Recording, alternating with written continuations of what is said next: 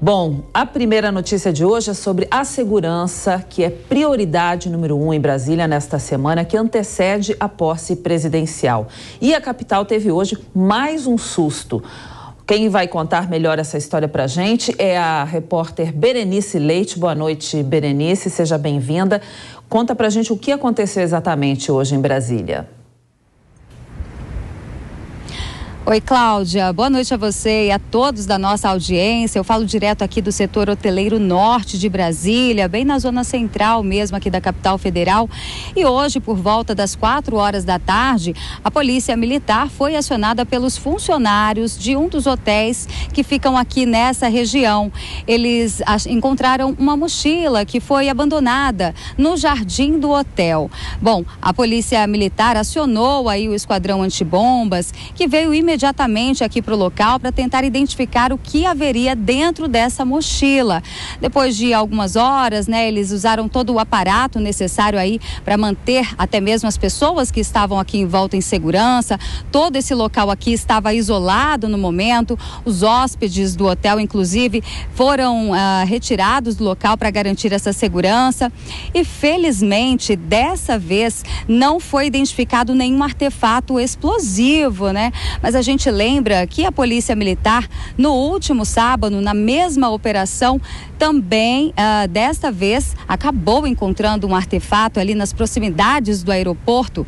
Inclusive, o homem que havia instalado esse artefato em um caminhão que estava com combustível ali nas proximidades do aeroporto de Brasília, ele foi preso em flagrante e passou por uma audiência de custódia e permanece uh, preso agora por um, uma medida, a prisão preventiva dele foi decretada e ele está aqui no presídio de Brasília. O clima aqui em Brasília é tenso. Eu conversei, inclusive, hoje com o Major Miquelo, que estava no comando da operação de hoje, e disse que situações como essa não podem ser descartadas, ainda mais nesse período em que se aproxima a posse né, do presidente eleito Luiz Inácio Lula da Silva.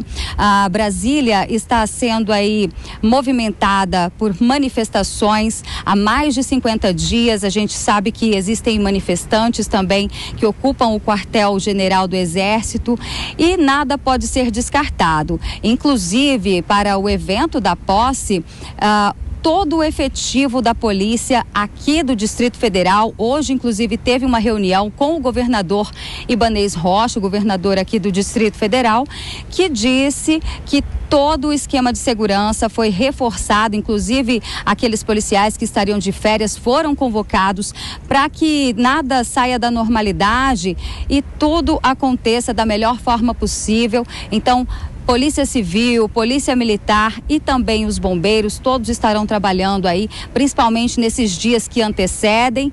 Segurança reforçada também no Aeroporto Internacional de Brasília a partir de hoje. E a orientação da Polícia Militar é essa: não descartar nenhum tipo de denúncia que possa chegar, como essa que aconteceu aqui hoje. Os ânimos estão de fato muito acirrados, viu, Cláudia?